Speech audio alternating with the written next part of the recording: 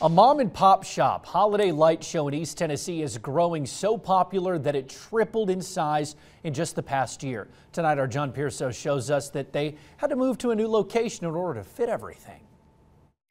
There's not much to see during the day, but at night is when the magic happens. I call it the extravaganza. This is Muddy Creek Christmas Light Show.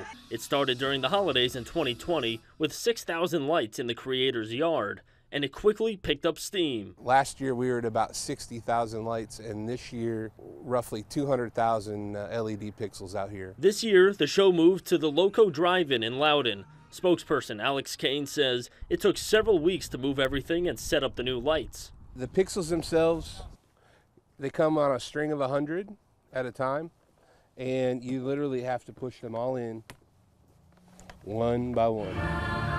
But the end result is a spectacular display of holiday lights, with the lights synced to holiday music. It's just a fun, fun way for families to come out and enjoy the, the Christmas and holiday season. The show is charging people for the first time ever this year, 20 bucks a car. The profits will go towards two East Tennessee charities, Mission of Hope and No Athlete Left Behind. We just want to do it for people, for the community. In Loudon, John Pearsos, WVLT News. That show runs daily from 6 to 10 during the week and 6 to 11 on Fridays and Saturdays. The last show of the season will be the 1st of January.